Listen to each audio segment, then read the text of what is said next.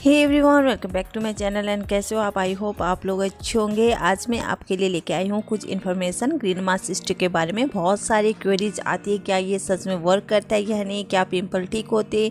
क्या ब्लेमिसेस ठीक होते? बहुत सारी क्वेरीज आती है। तो गाइज़ ग्रीन मास स्टिक का रिव्यू मैं बहुत पहले दे चुकी हूँ। उसमें बहुत सारे क्वेश्चन आते हैं, जो कि सबका सवालों का जवाब देना मुश्किल हो जाता है। तो गाइज़ ग्रीन मास स्टिक बाहर का प्रोडक्ट है ये।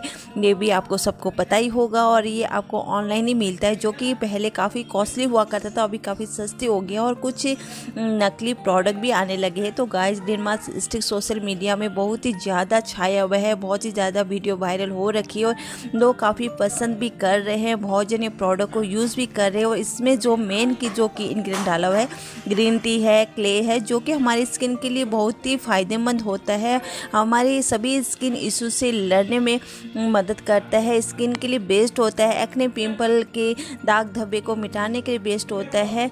लेकिन जैसे ये वायरल वीडियो में दिखाया जा रहा है कि ये ग्रीन मास्टर स्टिक के बारे में जैसे ही लगाए, वैसे स्किन क्लीन और क्लियर हो जाती है। स्किन के ब्लैकेट ऊपर आ जाते और एक बार में रिमूव हो जाते तो आपने भी देखा ही होगा। तो ये सब देख के सभी लोग इम्प्रेस हो जाते हैं और इस टाइप के वीडियो देख के उन लोग को लगता है कि मैं भी ये प्रोडक्ट यूज़ करूँगा और वैसे मेरी स्किन हो जाती, हो जाएगी क्लीन हो जाएगी क्लियर हो जाएगी।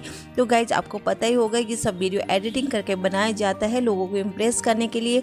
गाइज़ ये सब फेक वीडियो बनाया जाता है। ये सब प्रोडक्ट खरीदने से पहले की जानकारी भी होना बहुत ज़रूरी होता है। बहुत सारे फेक रिव्यू भी देते हैं प्रोडक्ट को बहुत अच्छा बताया जाता है, लेकिन ये सब प्रोडक्ट सबके ऊपर वर्क करे, वो भी ज़रूरी नहीं है, सबकी स्किन अलग अलग होती है। तो guys green mask stick result की बात करें तो ऐसा कोई मेडिकल वाला रिज़ल्ट नहीं है, कोई दाग धब्बे रिमूव नहीं होता है एक्ने पिंपल कम नहीं होता है, बस आपकी स्किन फ्रेश ज़रूर लगेगी, जो कि हर कोई फेस मास्क अपने यूज़ करते तो उसके बाद होती है।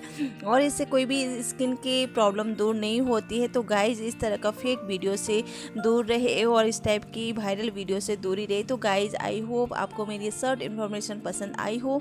कुछ हेल्प मिली हो वीडियो अच्छी लगी हो, अच्छी लगी तो प्लीज़ लाइक शेयर मेरे चैनल को सब्सक्राइब ज़रूर कीजिएगा। फ्रेंड और फैमिली साथ ज़रूर शेयर कीजिएगा।